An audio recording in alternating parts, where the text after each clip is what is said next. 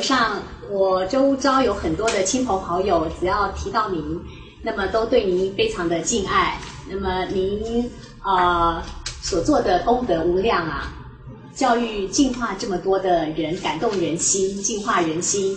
那么让大家一起来跟着您呃做善事，然后让这个生命更有意义。那么在您所推动的种种的功德当中，其中有一项。啊，是您近年来比较关注的，就是《弟子规》的推动。那么，啊，这个《弟子规》的影响力，从台湾、大陆、马来西亚，甚至远在很远的澳洲，因为您的推动之下，慢慢的大家知道《弟子规》的重要性。那么，《弟子规》不仅在教育，在企业都有很大的回响哦。那么，今天非常的荣幸能够。请老和尚为我们再讲讲《弟子规》的部分。那么我们知道《弟子规》呢，里面它是一部教人做人做事的道理，里面有教啊教大家要孝顺父母，孝顺是最重要的。我们昨天还看到有新闻说，啊因为家庭起冲突，那么呃父亲就自杀的这个案子，这个这个屡见不鲜，常常有这个子女不孝。然后甚至杀父母这种事情，这个是我们是人，我们怎么可能做这种事情？但是现在在社会当中是屡见不鲜的。好，那么《弟子规》告诉我们要孝顺父母，友爱兄弟，然后也教导说我们做人要诚信，那么要这个啊讲究信用，然后呢，最后就是正确的一个读书方法。所以《弟子规》呢，虽然短短的一千零八十个字，但是里面是充满了智慧。我也有很多人会觉得说，哎，这个《弟子规》。是古老的东西，老掉牙了，老套了。那么，老师傅，您觉得真的《弟子规》是老套吗？它真的这个时代不适用了吗？我们想请，请您来为我们做个您的想法。您觉得《弟子规》真的老套了吗？《弟子规》没有太阳老，太阳比《弟子规》还老。每天东方出来，西方落落下去。已经落了几百亿年了，它很老了，它比《弟子规》老多了。如果哪一天太阳方向相反的时候，这地球就要毁灭了。啊，所以你能说它是老还是新？万古长新。啊，为什么？它是从自信里流出来的。只要是人，人就有人性。那是从人性里面流出来的东西，啊，所以它是正常，它是真的，不是假的，它不能改变。你一改变它，一违背它，就要出祸乱。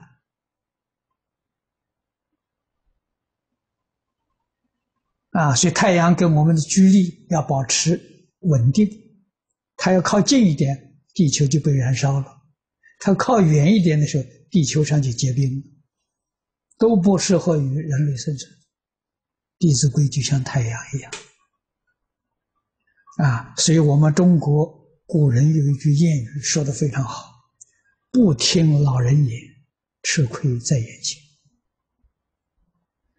中国近一百年来的灾，这个这个灾难，从哪里发生的？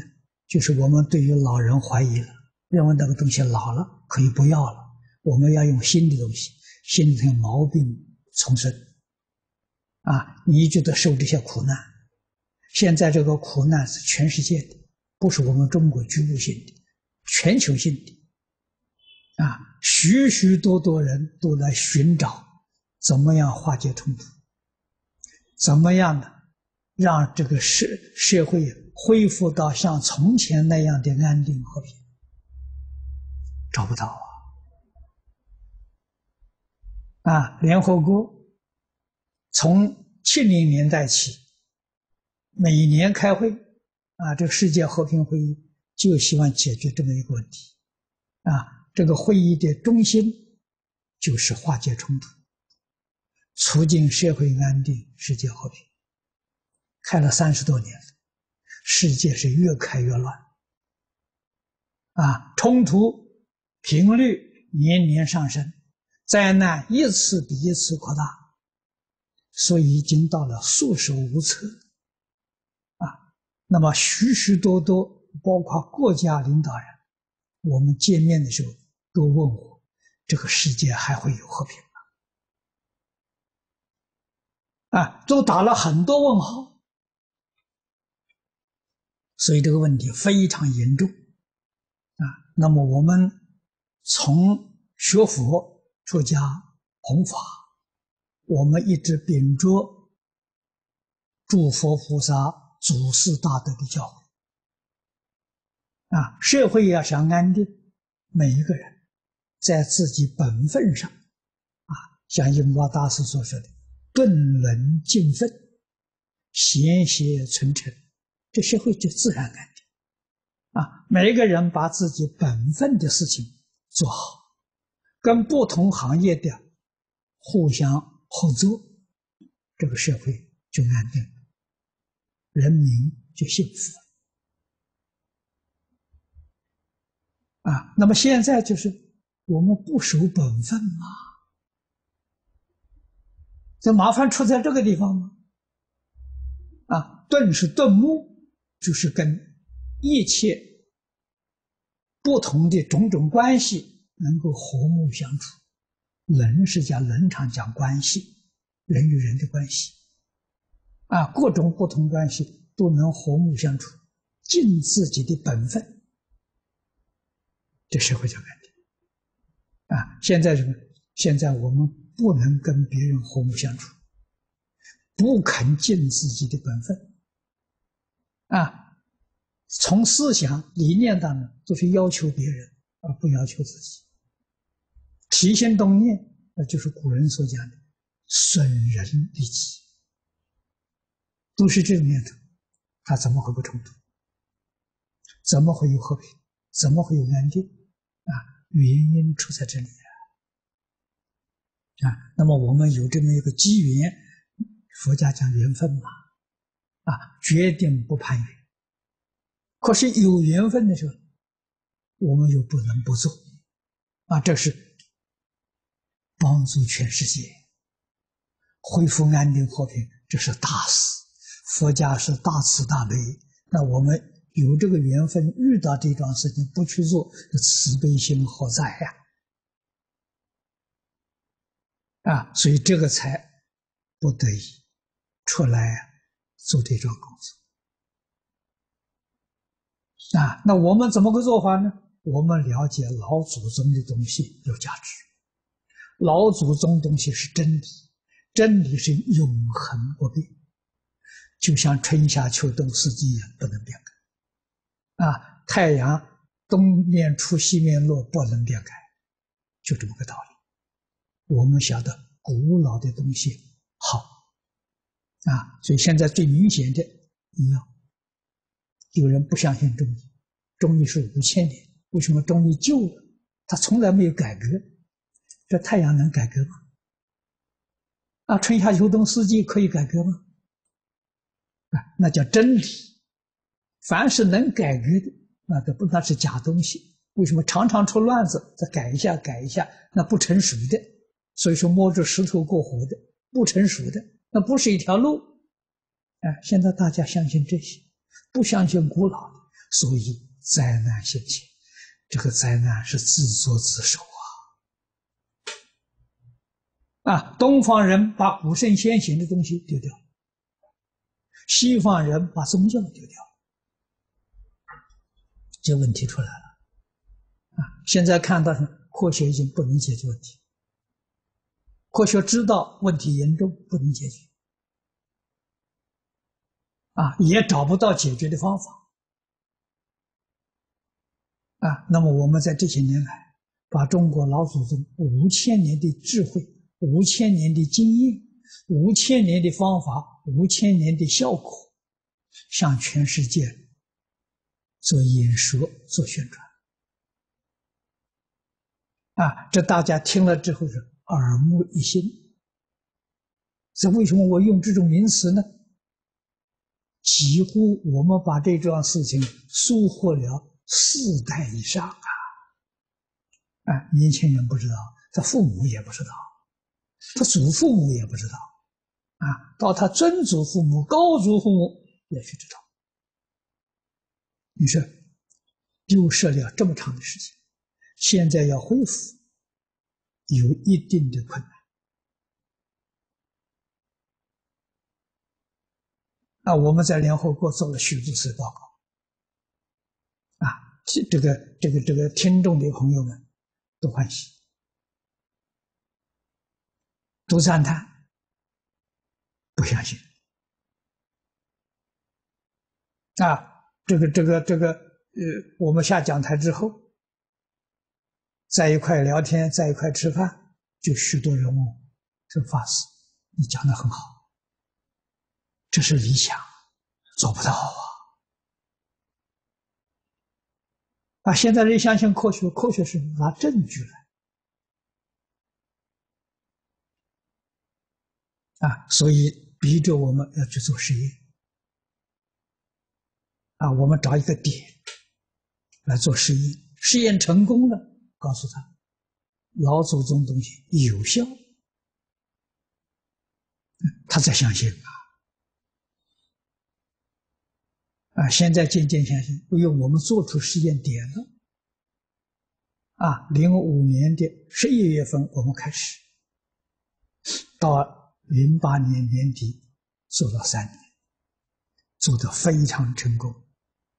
出乎意料之外，啊！这在告诉全世界：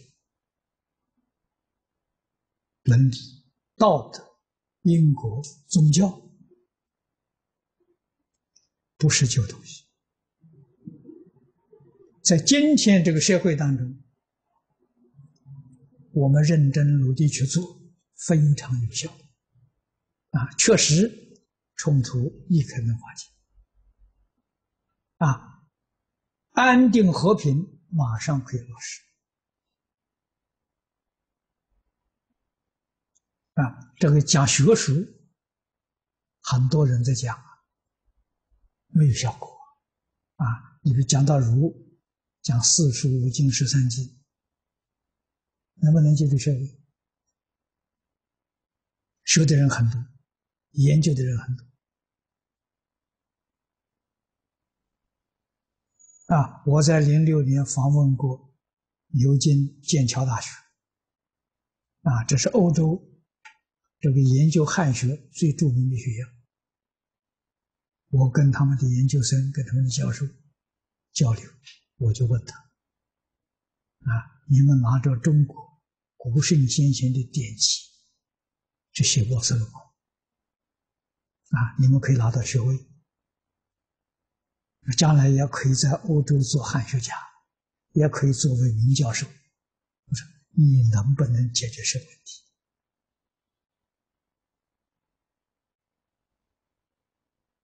他说不出来。我说这个话题不是我们说出来，是你们英国人自己讲出来啊，上一个世纪七十年代，汤恩比沃斯这是英国历史哲学家。他说：“要解决二十一世纪社会问题，只有中国孔孟学说跟大乘佛法。你们英国人讲出来的啊？他们不能回答我，然后我再问他，是不是他们说错了？啊，大家都不肯说话。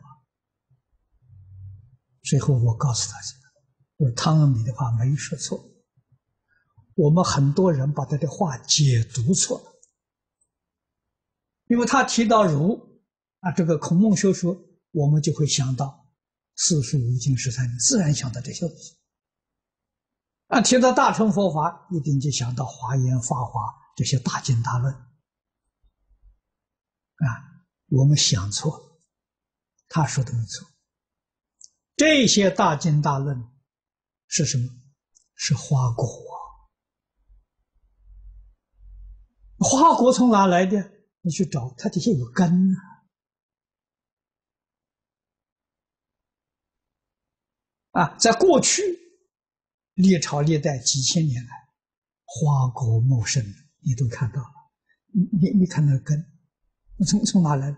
从根来，根是什么？根就是《弟子规》。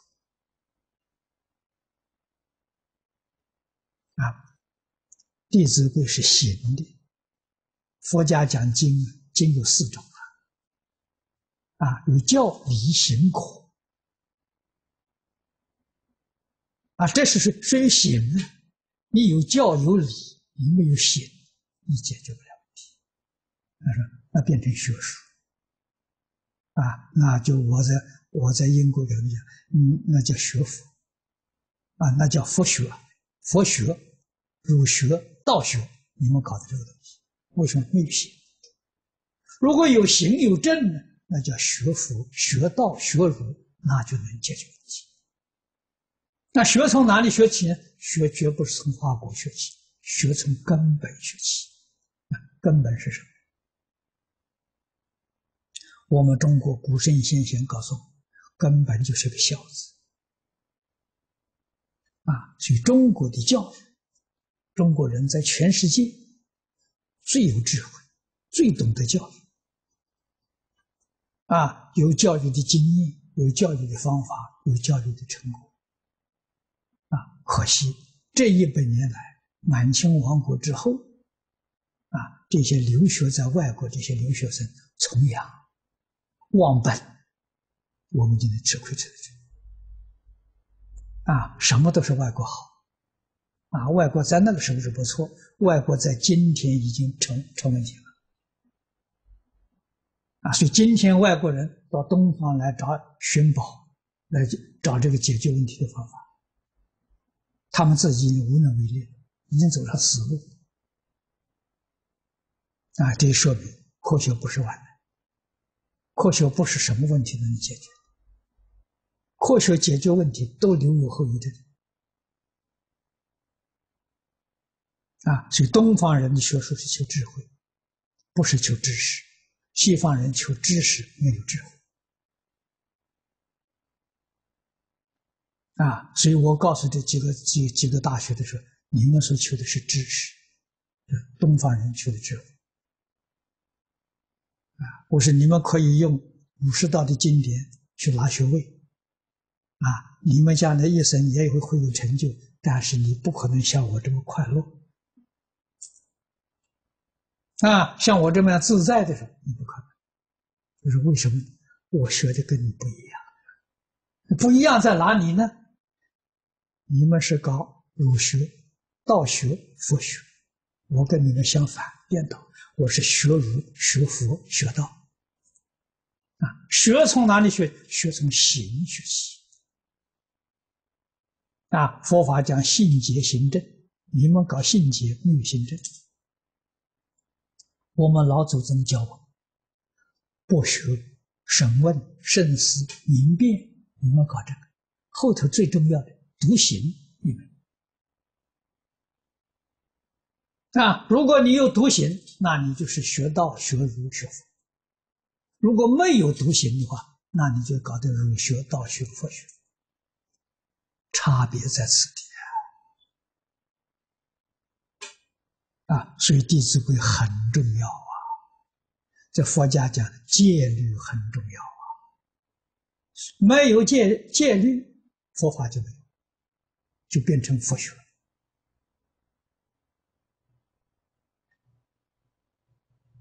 啊。没有礼，《弟子规》是礼正始，开基石，它的基础，它的开始啊，从小学起的。没有这个东西，就儒经啊，儒是代表中国传统文化，这这个不能不知道啊。哎，所以喜欢新的东西的时候，问题严重啊。认识古老的东西，那是学问啊。孔老夫子一生没创新。这个诸位也知道，啊，他是很守旧的，他自己在《论语》里面说过：“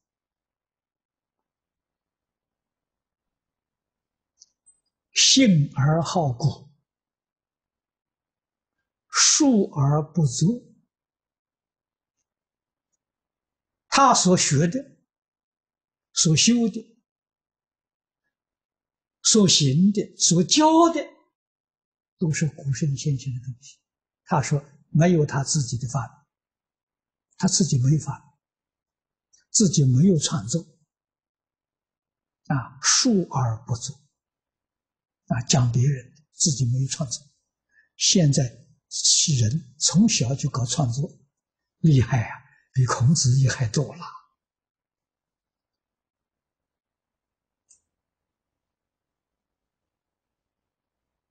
啊，所以我们想想孔老夫子这两句话：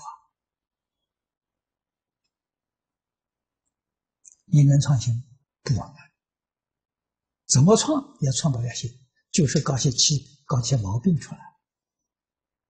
啊，为什么？古圣先贤所修所证的，它是个圆满的，就像个球一样，一个球圆满的一个球，你能不能在上加一点？你加它就不圆，你把它破坏了。你缺少一点也把它破坏，增一分破坏了它，少一分也破坏了它。修这个修养到极处的时候是个圆球，智慧是圆满，德行是圆满，相好是圆满，不增不减。你怎么创新？啊，所以创新后遗症都非常多啊。这个细心去想想就晓得了。汤恩比很聪明，有智慧，啊，他就不主张创新。呃，科学这个创新是决定要有限度，啊，不可以无限度，无限度将来会造成整个世界毁灭。就他说的，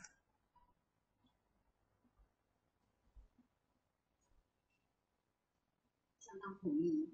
对，是像现在科学有复制人，他像复制羊成功，接下来下一步就是复制人，这会带来多少问题？啊，问题很多，问题太多，对所以相当的赞同。谢谢老和尚给我们的开示，是呃，这个您的一席话真的。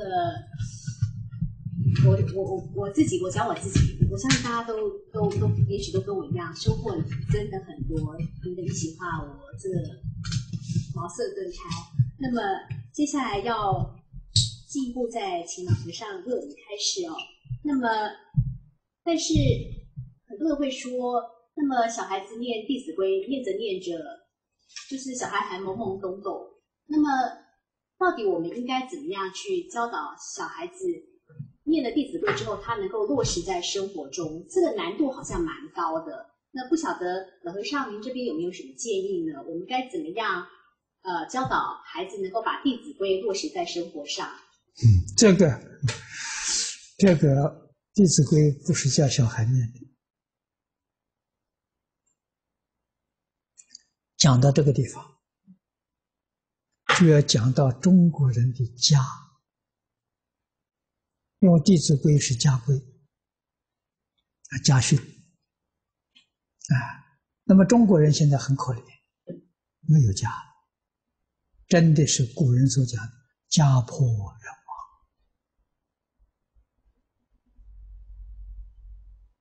啊。中国家彻底被毁灭是什么时候？抗战、中日战争之后，中国家没有。在抗战之前还有不多啊，但是你在乡下的时候，你能看到这一个村，这个村叫王村，那就是一家。你在村庄里面去看看多少人，至少住三四个人，所以它是大家庭啊，一般都是五代同堂。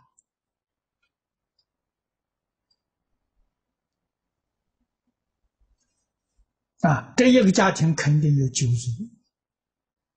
为什么从自身做起？上头有父母，再上去曾祖父，啊，再上面去有高祖父，啊，下面有儿女，底下有孙子，有重孙。嗯，你你看，这是一个家庭。这么大的一个家庭，不分家了，没有分家的，所以中国的家是一个社会。啊，很多人看过《红楼梦》，《红楼梦》是一个家。啊，家家人没有私财，那他跟政府组织一样，专门管理家庭的这个家业，那管理财务，任何人赚的钱都要都要入宫，自己这个是费用的时候，他要开，好像开的时候分配，你一个月的时候给你多少零用钱，所以他是团体生活，他没有个人。所以从前小孩一出生，你到这个世界来为什么？为家，为荣宗耀祖，啊，为继承这个家的家道、家规，弟子规是家规、家学、家业，啊，所以他是团体生活，所以中国人才讲呢，修身齐家治国平天下，你能治家就能治国。啊，用家跟国几乎没有什么两样，扩大了就是就是国，啊，所以能治家就能治，啊，这个政治上一些人才的时候，就是从家里培养出来的。是现在中国家没有了，这是小家庭，夫妻两个带着，这不是家了，你的家已经破了，已经没有了。所以说到这里，是我们寒心的。中国过去几千年这个社会长治久安靠什么？靠家。为什么？每一个家里面这个家教都教得好。这个家教，《弟子规》是家教里面必修的一部分。啊，那就共同科目，不管你是哪一个行业，这是基本的你都要做到。不同行业还有不同的家规。啊，那就不在这一部分了。中国的家规是大学问呐，分量太大。每一个家庭都有祠堂，祠堂里面有家谱，家谱里头有家规。啊，家谱里面记载着这个家的承传，啊，这个家道、家规，呃，这个这个是呃家学、家学这个家业，记载的都非常清楚。啊，所以他几百代不衰！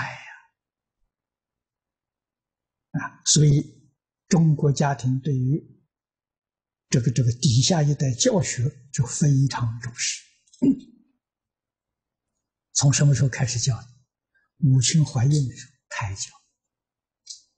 小孩出生三四岁来不及吃，他已经变坏。啊，所以中国讲的扎根教育。是小孩出生到三岁这一千天，这个一千天呢是扎根教育。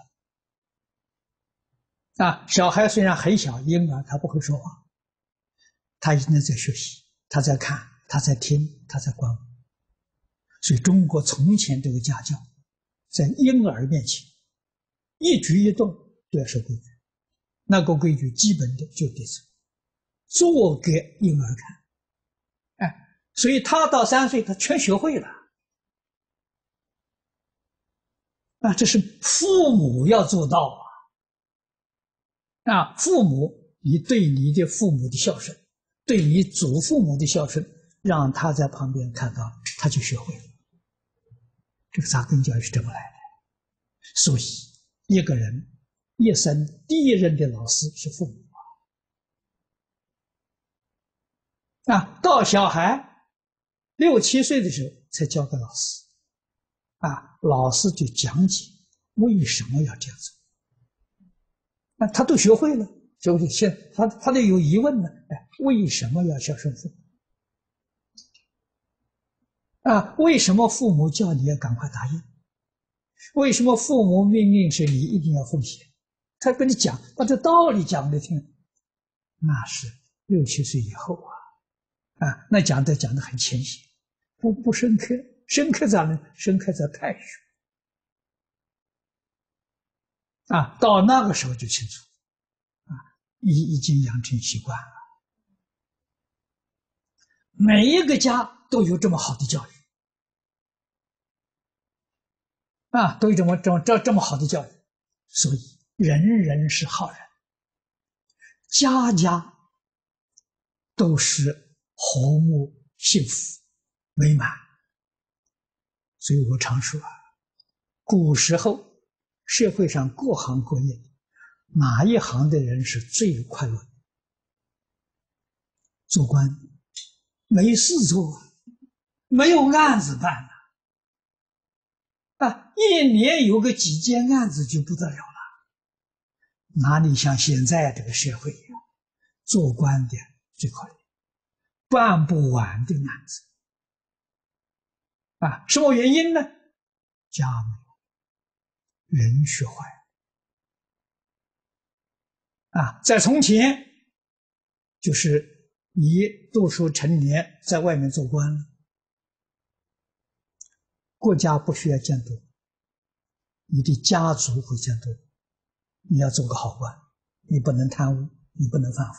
为什么呢？犯法了是吧？重罪的诛九族。你全家人都要负责负这个责任，所以那么多人监视你，我犯法的时候，我连累到我的家族，决定不能做这个事情，所以他社会安定，所以他社会和谐，啊，所以《弟子规》你是教小朋友，你自己父母不做，你那个小朋友只会念不会做。啊，为什么呢？你父母要做出来，他相信，他将来会孝顺你。你要不孝顺你的父母，你的儿孙不会孝顺。这是中国的教育啊！现在全世界跟你说没有教育啊，是什么呢？是知识的传习。这是我刚刚出家的时候，那个时候我才。三十三岁，我在灵济寺出家。啊，我们初出家的时候，都分配有工作。我我的工作是扫院子，大门口的院子。啊，是三个人，每一天扫那一片一片地。啊，有一天我们在扫地的时候，有四个学生，从我们那个后院子上圆山，后头有条小路，啊，上圆山。不要进大门，不要买票，啊，从那可以进去的，啊，我就看了这四个人，我叹了一口气，说可惜，这人没受过教育，这话被他听听到，哎，他们回过头来找我，他说我们是台湾大学法学院四年级的学生，你怎么说我没受过教育？哦。哦，我说这个我都不晓得，你们是大学四年级的。那我那我请教你，什么叫教？什么叫育？什么叫教育？我问你这三个问题，他答不出来。最后我跟他解释，我说你们不但没有受过教育啊，连那连低级教育都没受到。啊，低级教育是什么？最小的小学教育，洒扫应对你会吗？穿衣吃饭你会吗？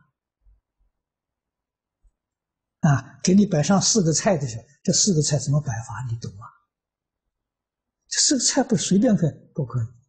中国这个桌子席上的时候是按照阴阳五行摆的，你摆错了就笑话。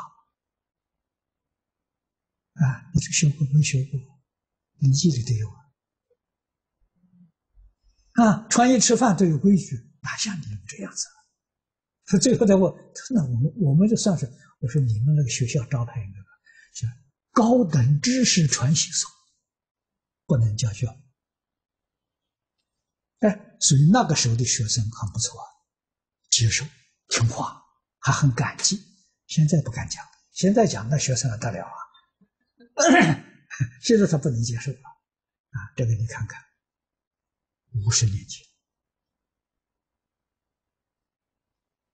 啊，所以。东方真的是讲教育，教育寻求的是智慧，现在是知识。啊，知识不能解决问题，纵然解决问题，它有后遗症，智慧在没所以《弟子规》是父母做出来、做出样子来啊，婴儿学习。啊。现在往那小学里学、中学学太迟了啊。所以现在是这个这个婴儿，这个这个扎根的教育是什么？是电视教育。从前是父母、家长教，现在是电视。啊，稍微长大一点，念小学了，就网络在教导。那么电视、网络都能教些什么东西？大家就知道。啊，所以这是这是危机。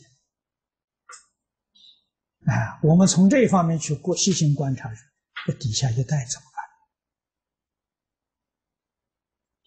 办？啊，你能说没有灾难？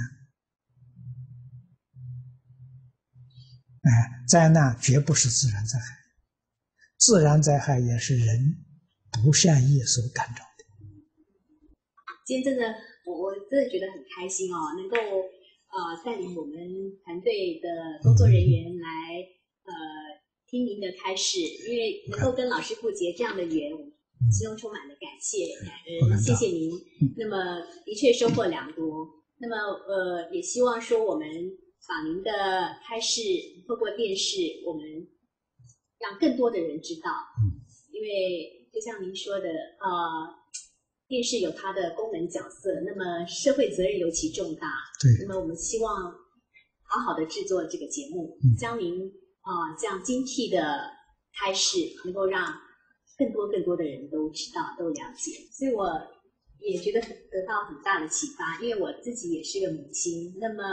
以身作则是最重要的。对于孩子来说，是《弟子规》没有错，但是念着念着，看父母并没有做到《弟子规》的部分，所以一点用也没有。对，所以父母太重要，以身作则。那么很可惜，呃，这一块的确有很大很大的空间，我们要大家共同来努力。对，这样子呢，从家做好了，社会就会好，社会好，国家就好，国家好，整个社会就和平了。那么。呃，家庭之外，企业也是一个家，就像和尚您说的。对。那么，呃，现在陆陆续续呢，在大陆有一些企业在施行《弟子规》。那么，台湾我们知道，住商不动产的吴耀坤吴董事长，嗯，他也因为受到您的您的感召，他从上海先施行《弟子规》，嗯，结果半年之后，他觉得效果真的太好了，他没有想到说效果如此之好，他也是说试试看，嗯。所以呢，因为上海的效果好，所以他从今年的六月开始，在台湾的住商不动产也实行弟子规。那么，呃，那个效果正在发挥，影响力正在出来。那么，所以呢，企业也有必要施行弟子规。那么，是不是就企业这个部分也能够请老和尚我们做开示？你问的这个问题，我们也很早就想到了。因为家是在太重要了，啊，它在中国几千年发挥这么大的效果，啊，国家长治久安这个根就在家，啊，所以我就想到了，那么家从二次大战之后，中国的家就没有了，啊，这是我们在战争当中最大的损失。生命财产的小事，这个传统文化这个根断掉了，啊，所以我们感觉到很忧虑，啊，祠堂没有了，啊，家历家的历史不重视，啊，家家历史家谱，啊，这是中国人几千年来爱家、爱自己的故乡，那就这是爱国家的基础。啊，所以这个东西动摇之后，就是爱国就成了问题了。啊，所以我们就想到，传统是靠血缘关系建立这个家的，是不可能再恢复。啊，所以我就想到了企业家，啊，用企业的团体，企业团体虽然没有血缘的关系，有道义的关系。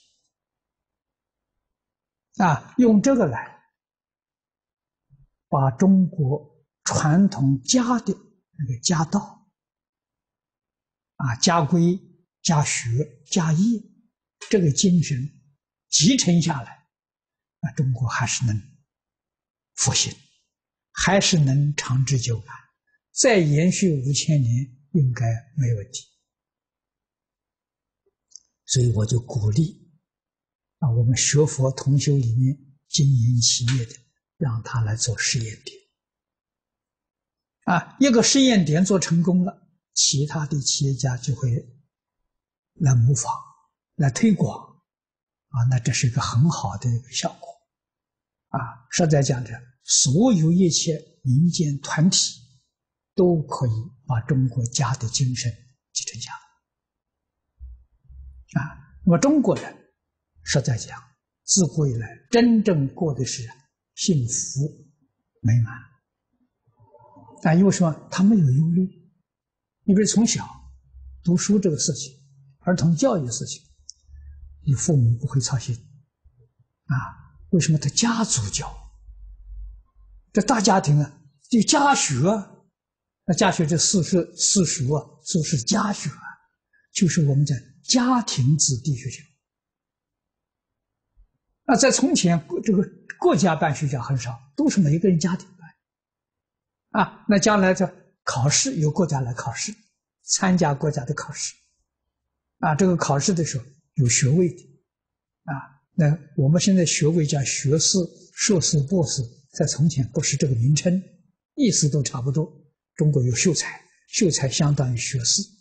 举人相当于硕士，进士相当于博士，啊，那个考试国家办，你考试及格的时候，国家把这个文凭给你的时候，你就有学位了，啊，所以国家没有，国家只有办什么？只有办太学，啊，国子监太学，那时候那就是现在说党校，是为国家培养各级公务人员干部的学校，学校。啊，那个是选拔出来，啊，多半是在秀才里头选拔，啊，谁去选拔呢？是中国选举制度啊，这是汉武帝时候提倡的，一直每一个朝代都没有中断过，啊，都采取选举制度。做个地方官、县市长，你的政绩这就第一个就是替国家选拔人才。这是你的政绩的头领，所以你常常出去放贤啊，放贤条件是什么？孝廉，举孝廉嘛，啊，这个小孩孝顺父母，廉洁，能孝顺父母，他就能为国家为人民尽忠，他廉洁就不贪污，所以就这两个字标准。你看，从汉武帝到满清末年，这个国家选举的时候。都没有离开这个原则啊！虽然每一朝代也有贪官，少啊，比例太少了啊！所以说举孝廉呢，啊，他不是没有选举，有选举制度啊。所以这个用企业啊，那么我们就代替家啊，我鼓励企业办子弟学校。如果你这个企业员工有一千人。你的一千人 这个员工里面有很多这些小朋友念书的，我们企业自己办学校。啊，办小学、办中学。啊，有能力可以办大学，没有能力大学就到别地方去念。啊，至少是要能办到中学。啊，企业家自己办，把伦理道德这些文化课程。加进去啊，这是企业运用。第二个呢，企业养老。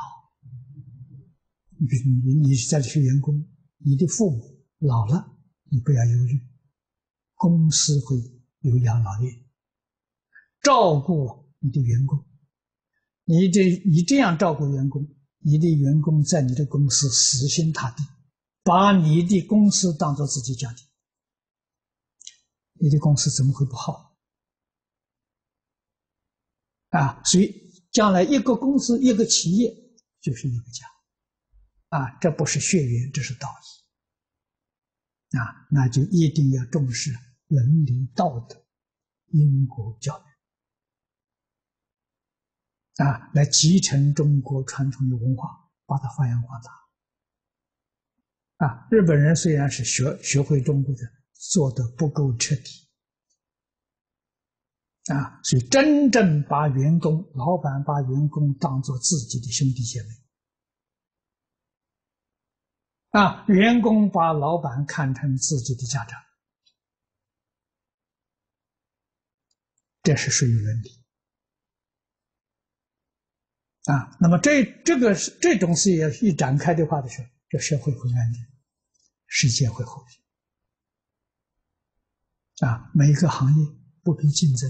互助合作啊，竞争是错。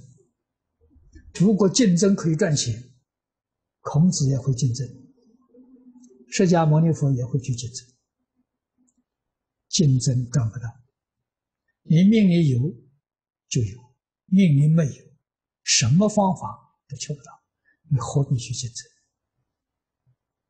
啊，何必做这种不正常的事情？规规矩矩的做，啊，佛法里面教导我们，财是从哪里来的？中国人讲财是你命里的，而佛讲的清楚，命里怎么有？是你前世修财布施，这一生所得的果。你过去生中修得多，你这生财富就就大，是这么来的。啊，不是用什么手段方法能够赚的来，没这回事。情。这一饮一啄，莫非前定？那你何必？啊，那其命能不能改呢？能改。命是自己造的，所以自己可以改。我过去没有修财布施，我这一生懂得拼命去财布施。啊，我。是年轻的时候贫穷，晚年的时候日子就好过了。哎，要舍啊，所以这舍得舍财就得财，啊，舍法就得聪明智慧，啊，施无为的就得健康长寿，是这么个道理啊。那你真正明白了，你肯干，你不怀疑，啊，信老祖宗的话。信佛菩萨的话，真去干，就真就得到了。我这一生就是因为听话啊，年轻的时候命很薄啊，人一看就知道啊，啊，贫贱而且短命啊，这样这个命凭什么有财啊。见是没有地位，啊，又短命。啊，学佛之后，张家大师教我布施，啊，施财、施法、施无为，啊，你才能转得过来。张家大师圆寂之后，我跟台中李炳南老居士，啊，这都是我祖父辈的人，大我三十九岁。啊，看到我们这种印象啊，他很清楚啊，就劝我们学讲经，学讲经是法布施，这个转命运转的最快的。啊，那我们也听话。啊，所以布施啊，人家供养我们，转手就施出去，越施越多。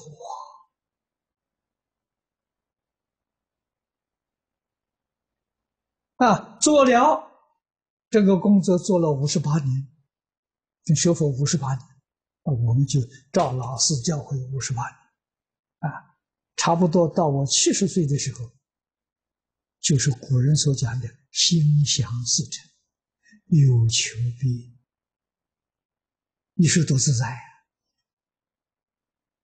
但是你要做出来才行啊，你光是读经没用处。啊，啊读经念佛没有出来，你得做出来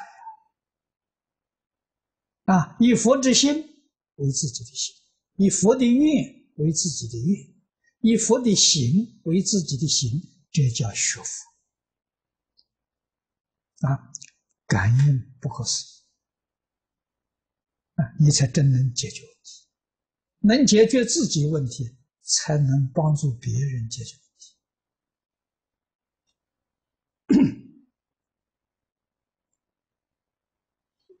啊，所以《弟子规》要从自己做起。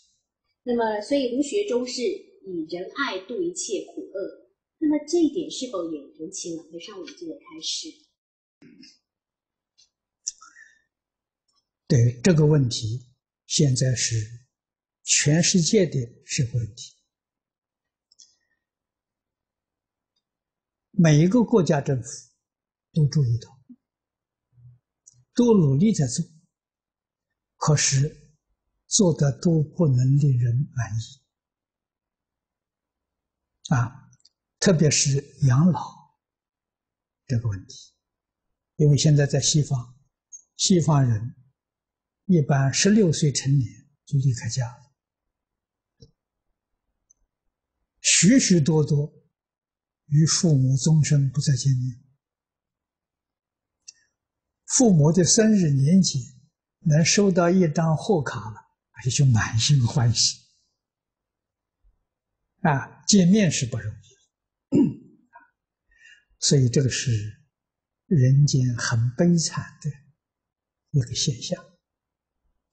啊，我最近刚从澳洲回来，啊，在澳洲的时候，我也很留意这个澳洲养老的事业，啊，在许多国家里，养老的事业可以说澳洲做的最好，啊，物质生活确实，啊，照顾到可以令人满意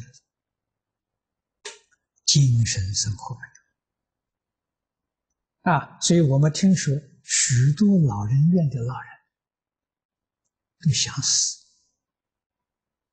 都不想再活下去，一点温情没有。啊，住进老人院，他的这个不但是儿女，啊，是亲戚朋友，不再跟他见面，这种事情很多。啊，所以这个养老的这个事业，因为现在中国也模仿西方小家庭制度，那么将来的时候，这个年老了，每个人都担忧我老了怎么办？这是一桩大事，啊，是国家的这个很重大的负担，啊，所以我也注意到这个事情。希望老人晚年过到一生当中最幸福的生活，这是中国古人，古人家族养老嘛，所以有天伦之乐。你看这一个家庭的时候有几百人，就小孩从至少也差不多有将近一百个吧，啊，天天围绕着大人，那多欢喜啊！啊，都是自己的一个族裔的这这个族族孙辈。孙辈重孙辈，啊，啊，那这种现象是现在怎么办？就必须要让老人公寓啊，或者这个老人机构里头这一些照顾老人的这个服务的人，他们都能够落实《弟子规》，老人就快乐。啊，所以我这次在澳洲就提议，希望这个老人院自己要办护理教育中心，就是所有护理的人员都要教因果，都要教伦理道德。啊，那老人院的时候，他就可以在借机在老人院天天做实验。啊，他也能把弟子给做出来，啊，能孝顺这些老人，把老人看作自己父母一样，啊，他做实验，实验时候令人满意了，才发护理的毕业证书，啊，那么这些这个养老的机构啊，会聘请他们，这个这个呃，在在这个呃老人院服务。啊，我想出这么一个方法，我说一定要通过因果的教育、伦理的教育、道德的教育。啊，让这些护理人员知道，你们自己这样做，你们老的时候有人照顾你，这因果吗？啊，那么关于老人这个老人公寓，一定要把它办成学校化。确实，有不少老人，虽然年岁大了，身体还不错，他有专业知识，他可以教学。啊，学校是不要他了，啊，这些些退休了，但是在老人公寓，他可以开班教学。啊，看他的这个体力、时间。一个星期能讲几个小时课，啊，这个把它公布在外面，我媒体公布，真正有年轻愿意学的，到这个时间跟老人学，啊，他能收几个学生，好好，他就落去了，他的东西能传下去，不至于淹没，啊，他死了就就就没有，很可惜啊，真有人才呀，啊，那在关于老人娱乐方面，这一这一些。这一些这个这个呃项目说要必要好好的来研究来充实啊，让老人说每一天能够真的欢喜啊，而且我还鼓励办这些这个这个这个呃孤儿啊，现在孤儿不少啊，而且离婚的这个些小孩都有问题啊，办这么一个些一个小学。那小学就靠近老人院，让老人能够看到，天天看到小朋友，小朋友学《弟子规》会孝顺父啊，这样呢，让这个老人乐园呢，真正让老人能够快乐起来，啊，能他真正有些有心愿，啊，虽然不是自己儿女，跟自己儿女没没差别，凡是人皆需爱，啊，这样要是做一个点试验成功了，那我相信。其他的这个这个这个呃老人公寓都会来布防，啊，现在就必须要做一个实验点，做成功了，大家看到了欢喜，就能够推广，啊，我们在澳洲是是澳洲政府现任总理陆克文先生，他希望我做一个点，来在澳洲来推广，啊，这个是很有很有意义的。嗯，很有意义，哎，非常非常必要，啊，现在这个社会，呃，老年化的时候是一个大问题，嗯，这个问题要迫切来解决，啊，所以必须要办这个这个护理的学校，啊，护理的学校，学学校最好是用，呃，老人院附设，自己来办，一方面照顾自己老人，一方面帮助。所有的这个老人公寓里面培训啊，这些护理人员，他们在专业知识有，但是在伦理道德上没有啊，要把这个科目补进去。这也是我们最近在想做的一桩事情。所以听着听着，心里也觉得有压力。有一股沉重的压力，原因是我们也自己有长辈，也有父母，也有祖父祖母啊。当然，我的祖父祖母是往生了，但真的很不忍心，老人家住在老人院这样的一个很孤独的情况。是，所以呃，老和尚您做的事情真的非常有意义，也希望说这个试验点成功之后，让其他的老人院也都能够。能够来这样子做，让老人家在他最后的生命里面也可以有有有快乐，这是非常的有意义。那么，那么刚刚也跟老和尚您请教，有一个观念就是说，我们大家不太懂，为什么说有仁爱之心，它可以度一切的苦厄，度一切的苦难？这一点是不是也能请您为我们再补充一下？仁爱的心是自信，每个人都有。啊，我们老祖宗告诉我们，人性本善。写在同盟课本里面《三字经》上头一句：“人之初，性本善。”那个善，不是善恶的善，善恶的善范围很小。他那个善就是圆满到基础啊，一个人本性里头有圆满的智慧，有圆满的德行。有圆满的孝悌，有圆满的忠心。换一句话说，没有一样不圆满。啊，所以用一个善字来赞叹。啊，所以他不是不是善恶的善。那么，为什么我们的这些 自信的这一些？善德善能不见了啊！佛告诉我，并没有失去，只是有东西障碍了啊！这这个障碍的是什么？障碍就是烦恼习气啊！在佛家总的来讲呢，三大类的烦恼啊，就是妄想、分别、执着。啊，那么还有呢？它专有的名词叫见思烦恼、尘沙烦恼、无名烦恼。啊，这些东西盖覆住。那我们说的最浅显一点，头一个就是我。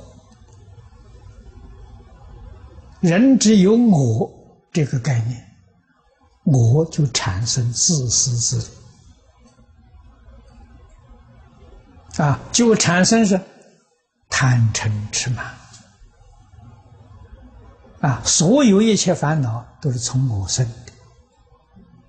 我到底有没有呢？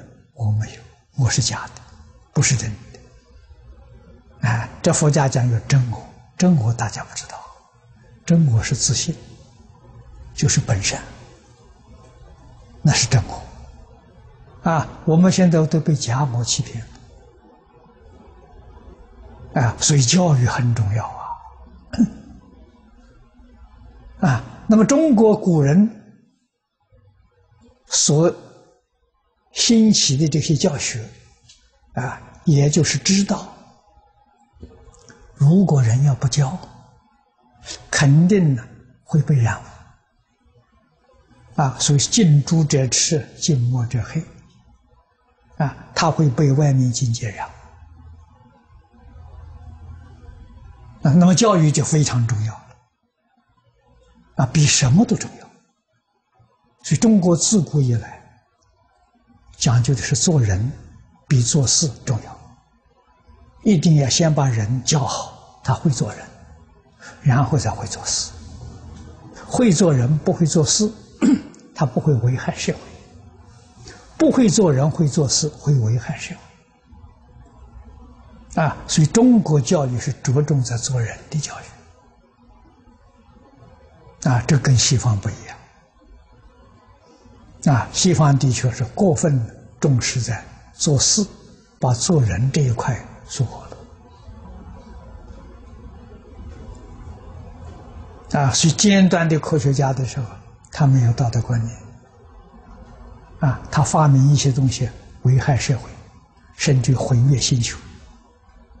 他搞这些啊！中国人不是不聪明，不是没有科学头脑，因为他对他负责任，他对现前社会负责任，他对未来历史负责任。啊，凡是与社会人类有危害的，决定不干，啊，知道也不干，啊，否则的话，中国的科学进步超过西方就太多，但是。世界也许就毁灭了，啊，这个就是我们所说的教育不一样，啊，我们教育者如何能够把我们自信的本善让他醒悟过来，不要再迷失，这是教育第一个目标。啊，而且自信里面的信德，是在讲第一个就是孝，孝 是信德的根。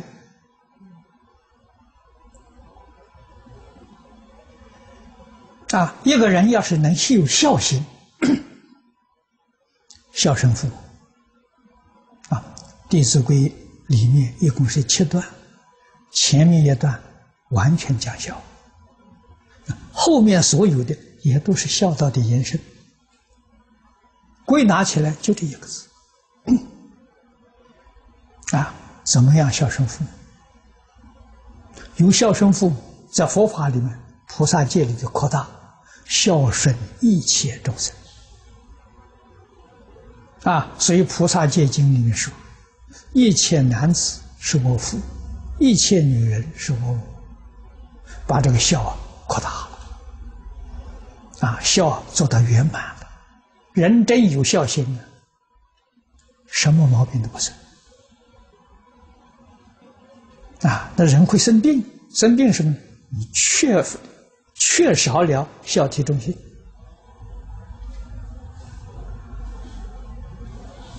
啊！最近北京有个有个有个彭医生讲五常啊，仁义礼智信对应我们的五脏六腑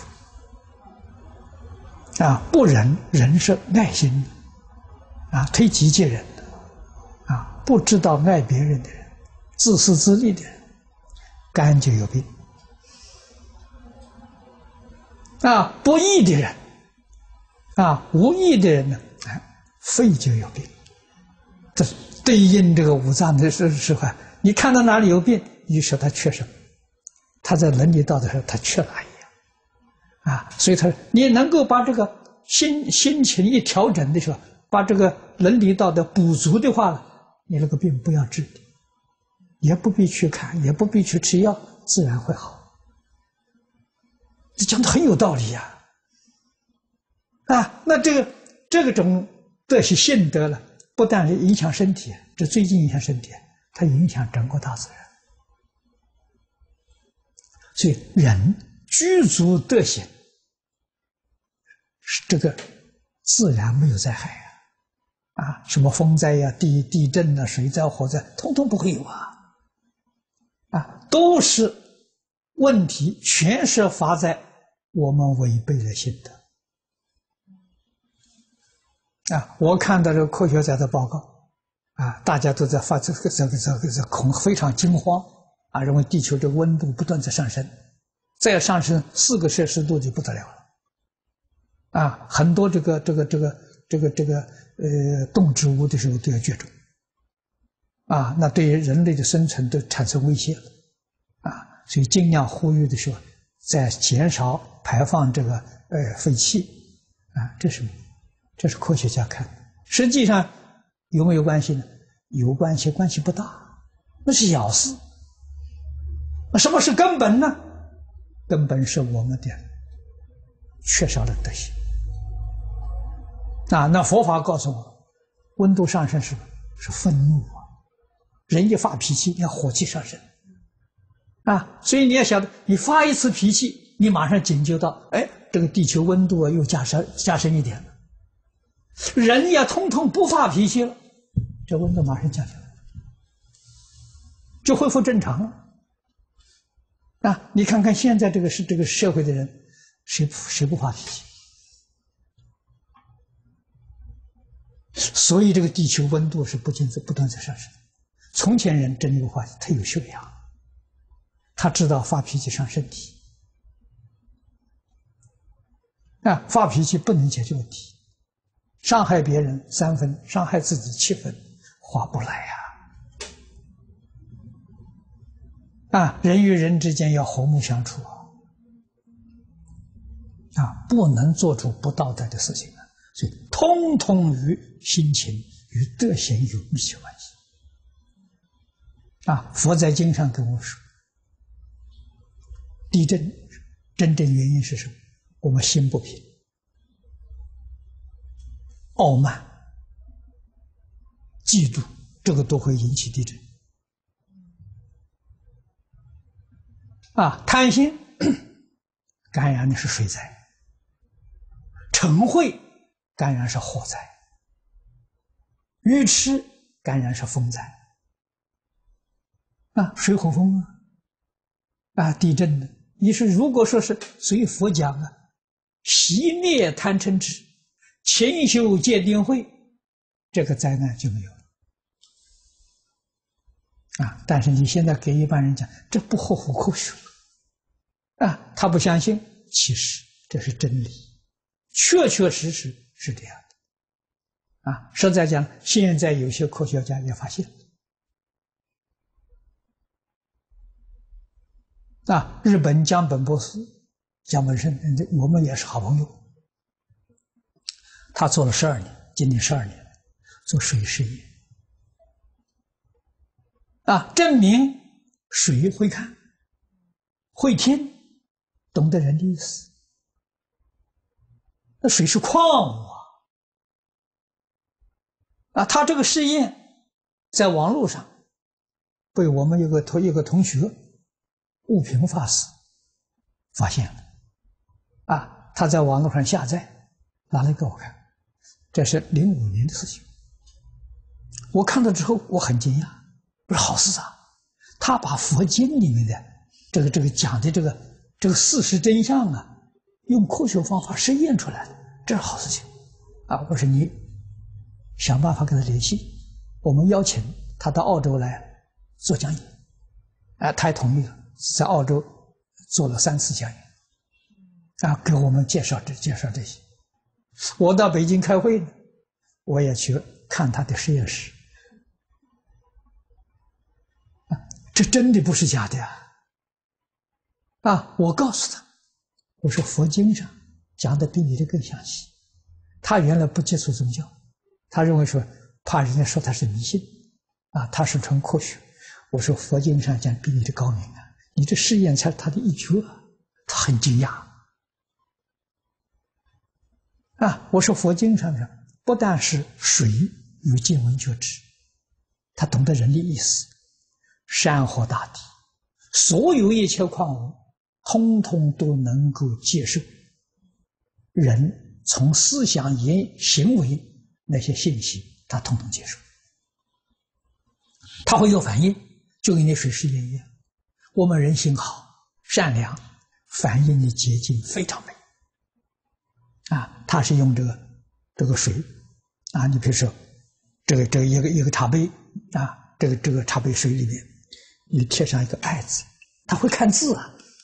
那他会认识字啊，不管写哪一个的文字，他都懂，就奇怪呀，比我们人高明啊！哎，然后的时候，你把这个水壶的水呀，放这个这个呃，捏出一滴，一滴水啊，用这个那个注射器的时候，一些一滴水，放在个玻璃板上，放在冰箱里面去。去去冷冻，零下摄氏零下五度，它就结成冰了。啊，冰的时候它就有雪花，在显微镜里面去看，那个雪花非常美丽。啊，你再拿一滴的时候，时候你就写一个恨，我讨厌你。啊，你在这样做的时候，在显微镜里看的时候，它那个雪花很丑陋，很难看。啊。试验几十万次，证明它是真的，啊！所以他试试验的告诉我的时候，他说：“法师，好像宇宙之间呢，这个这个这个宇宙的核心就是个爱字，因为他试验爱、感谢、感恩这个图案，不管你是言语、文字不同的文字，图案都是最美的。”我是一点都没错。你看，所有宗教里面都讲爱啊，基督教、天主教的心就有神爱世人啊。回教《古兰经》里面，真主确实是仁慈的。那佛家讲大慈大悲，啊，一点都不都不假，实验出来了。我说，水是如此，尘沙也是如此，树木花草也是如此，所有整个宇宙是个有机体，不是死。啊，那我们在这个房间里面坐一板凳，啊，我们上面的天花板，底下的地板，四面的墙壁。他懂不懂啊？懂。我们的一个善念没有一样不善，我们一个恶念没有一样不不不不是我的，啊，所以说磁场就不一样了。这是从你这个心性不相同啊。所以，我们做这个习斋法会啊，就是这一个道理，这个原理在支持。我们再做一次习习斋法会。集合的时候，几百人、几千人，啊，我们同心同用这个善心善意才能使这个山河大地里面的信息缓和，因为它吸收的社会大家都是不善的，我们善的把它缓和一点，缓和一点是这灾难就减轻一点。如果整个社会都能觉悟的时候，都能改过修善的话，这个世界就变成极乐世界。什么灾难都没有了，就是这个道理呀。这个道理太深了，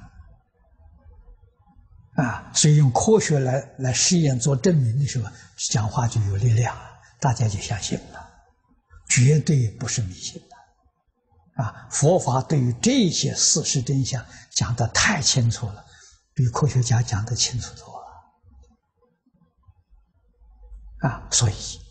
善意能够转变境界，这是佛在大乘里常讲“境随心转”，境是外面境界，是随着人心在转。人心善，没有一样不善；人心不善，就通通都不善。啊，所以科学讲这个讲那，那都治标，治本是在要改变观念。啊，这是真正彻底解决问题。心实在太重要。啊，对，不错，不错，不错，心一定要善啊。所以本性本善，本善是人人本有的，不善本，不善是染的这些不好的习气啊。这个东西可以把它断掉的，可以离开，本善自己自然会恢复啊。所以人性本善。这个我们要肯定，要深信不疑。所以心非常的重要。那么我们应该常常的去醒思我们自己的这一颗心是否真诚，对，是否有有爱，对，这真的太重要了。对。那么当你把那股善念发挥出来时候，其实周遭的。人会感受到，没错。你旁边的没生命的物体也会感受到，会感受到。然后植物也会感受到。我就想到我今天早上出来忘了浇花。嗯。哎，对，哎，嗯，回去浇一下。对，不错，不错。今天早上出来忘了浇它。不错，不错，不错，不错。嗯，好。那么，呃，老和尚最后一个，呃，想要题目想请您也为我们做开示。那么，我们看看台湾现在。这样的一个情况，呃，刚过一个八八水灾，那么，呃，带来很大的苦难。那么，现在台湾其实我们还是把大多数的重心放在经济上面，那么对于教育跟文化方面，其实是摆在比较后面。但是老和尚您却觉得那个优先顺序是相反的，我们应该把。教育跟文化放在第一位，然后然后经济应该是其次。能不能请您谈一谈，为什么您是这样主张的？因为只要把教育做好了，经济自然上升。啊，在中国大陆这些企业家的时候，把伦理道德带进企业之后，他对企业的时候不断的向上提升。啊，而且的时候，所有员工的时候素质的时候也提升，所以他们非常欢喜。这是做出了证明，啊，所以中国人老祖宗有智慧，要相信老祖宗。老祖宗是把德行教育摆在第一，这是根本，啊，这是什么？这个是真正发财的真因啊！搞其他的那不是的，那是那是那是假的啊！为什么呢？才是自信里面本有的德能啊！我们刚才讲过了，这佛在华华严经上讲的，一切众生皆有如来智慧、德能啊，那个德是德行。啊，那个能是能力，后面还有个相好，相好就是财富，我们人讲的福报，啊，是你自信里的全有，自然具足，只要你有德行，全都爆发出来了。啊，如果没有德行呢，那全部被盖下去了。啊，没有德行，你发的这些财，是你过去生中财布施累积的，啊，所以发的时候没有德行，守不住。也很快，公司也就关门了。啊，所以说爆发户，昙花一现。啊，有德才能支持长久，啊，才能永续的发展。所以，伦理道德的教育比什么都重要。啊，你说美国跨国公司，啊，千亿财富的时候，一倒闭马上就完了。啊，这是大家能看到的，啊，所以这不是真的。如果有德行，就不会。啊，所以伦理道德、因果，还得要加上宗教教育。啊，宗教教育什么呢？你去仔细去看看所有宗教的典籍，我们可以概括。它里面讲五桩事情，他讲伦理，讲道德，讲因果，讲哲学，讲科学，讲的真好啊，那不是假的啊！所以我曾经跟国际上很多的这些领导人见面的时候，我都提醒他。要化解冲突，要促进社会安定和平，首先要提倡宗教教育。如果疏忽这一层，那非常困难。你用什么方法去规范人心？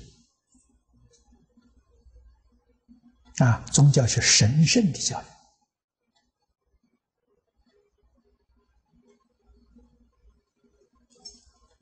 啊，必须要在经典，因为现在有很多宗教，他收获了教育，只管形形式，啊，这些仪规这个不行，这是社会对宗教起反感，认为它是迷信，这是有道理。宗教要重视教育，啊，所以我学佛呢，这幸亏当时老师点醒了。啊，我学佛是跟方东梅先生学哲学，啊，他给我讲哲学概论最后一个单元讲佛经哲学，我从这里认识的。以前认为这个东西是迷信，所以没有意愿去接触。以后知道，啊，他老人家介绍给我，说释迦牟尼佛是世界上最伟大的哲学家。我学哲学是哲学家。那这是佛经哲学是全世界哲学最高峰，学佛是人生最高的享受。我这样才把以前那个那些错误观念修正过来，才接触佛教。他当时还叮咛了一句话：“他说真正佛教在经典，不在寺庙。”这一句话提的非常重要啊！所以以后我。才逛寺庙，逛什么？找经书。在那个时代，五十八年前，啊，台湾这个这个经书太少了，印经就三个地方：台北一个印经处，台中一个瑞城书局，台南一个青黄书局。啊，印的种类很少，数量也很少，所以经书很不容易得到。那只有。研究的话，只有到寺庙去看大藏经。他他大藏经不肯接触，所以我们利用星期休假的时候去抄经。不像现在，现在印刷术发达了，啊，这个经书是实在是得来太容易了。嗯，所以在经典里头，啊，在经典里面会找到宗教的本来面目。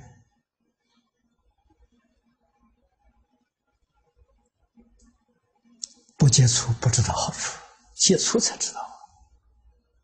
哎，以后我出家了，去看方老师。方老师看你真干了，我说我说是真干了。我说你说这人生最高的享受那，怎么不真干了？当然真干。呃，还想最后再请教老和尚，那么您觉得我们可以做些什么呢？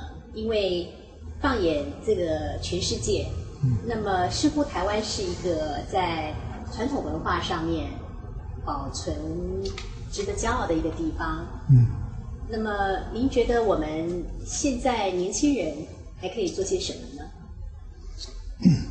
年轻人如果真正立志发大心，要把中国传统文化复兴，不但救国家，也救了全世界，这是一桩大事。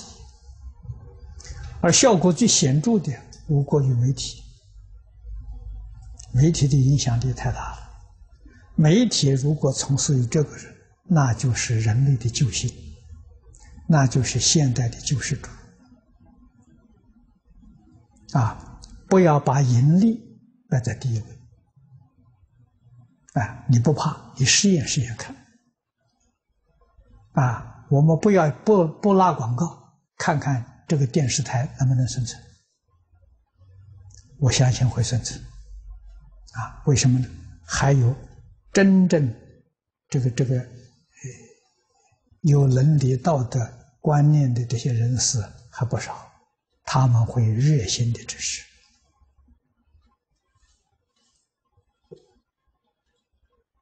啊，我们这边有个华为，是谢继田夫妻两个经营的，啊，他们就做了这个实验。啊，最初来告诉我的时候，他是民国，他是零三年，两千零三年的元旦开播的。啊，他没有告诉我这段事情，开播前两个星期才告诉我，我听了很惊讶。我说：“好吧，我看你，看你能不能活一个星期。”这个需费用很多，一个星期过去了，好，我再看你能不能活一个月。一个月过去了，我说看看能不能活三个月。啊，三个月过去了，我操，我再看能不能活半年，我都怀疑啊。没想到他活到现在，啊，没有打广告，啊，但是我还嫌他的时候。他里面自己那个广告太多了，就是那个那个银行账户的时候常常在那播放，当然了，有人寄钱给他，哎，他就能维持，哎呀，所以我还劝他那个尽量减少，一天播个两次就够了，播那么多次让人看到很烦，我说我看到都很难过，啊，会有人支持，佛菩萨会支持，老祖宗会支持。问题就是你能不能相信？啊，你要能相信的话，祖宗支持。啊，我这些年来在国外，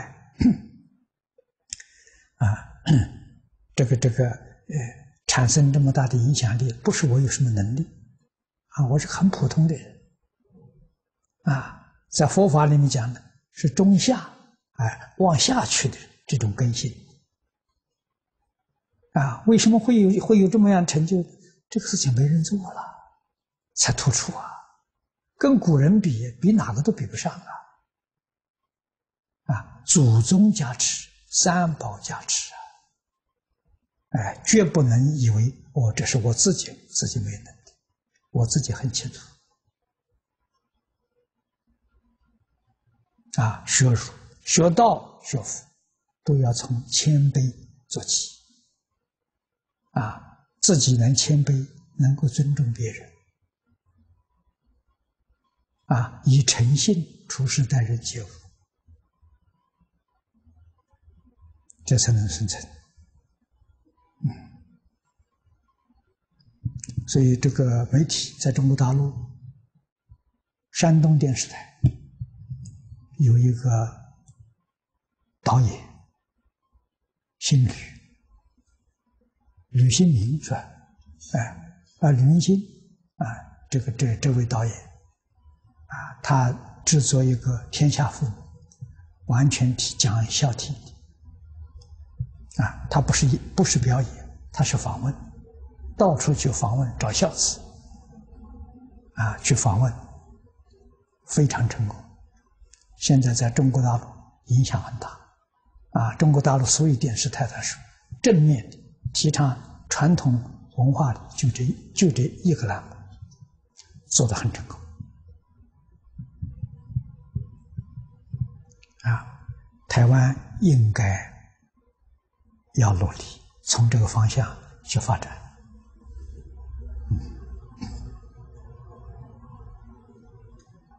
谢谢，谢谢老师，您开始，谢谢，谢谢。好。谢谢大家。谢谢。Thank you.